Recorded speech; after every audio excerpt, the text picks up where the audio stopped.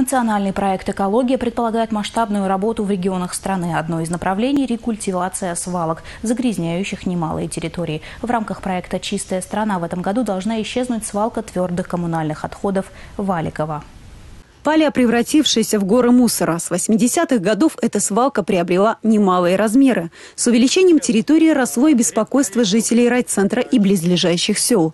8 гектаров плодородной земли нельзя было использовать для нужд сельского хозяйства, не говоря уж о запахе, распространяющемся на всю округу. Нынешняя рекультивация ведется с учетом современных технологий. Много было э, сигналов стороны жителей с просьбой вот, провести работу по рекультивации. Самым современным образом будет проведена рекультивация.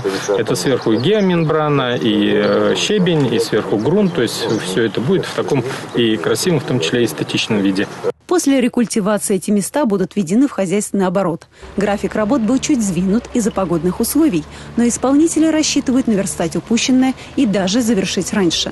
Этот вопрос сейчас под особым вниманием правительства. С тем, что грунт влажный, тяжело было им заехать. Вот они валы собрали техникой, а сейчас уже КАМАЗами вот подвозят к основному телу.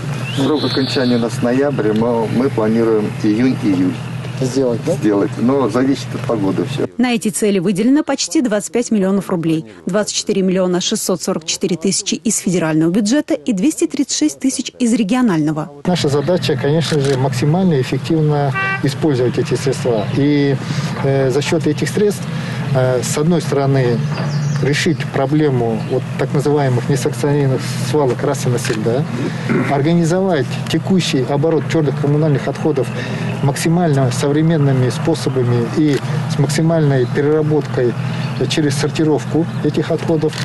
Ну и, конечно же, э, в дальнейшем не допускать появления такого рода свалок. Теперь весь мусор будет собираться в контейнеры и отправляться на полигон переработки твердых бытовых отходов, как того требует природоохранное законодательство. Наталья Мальчикова, Игорь Зверев, Республика.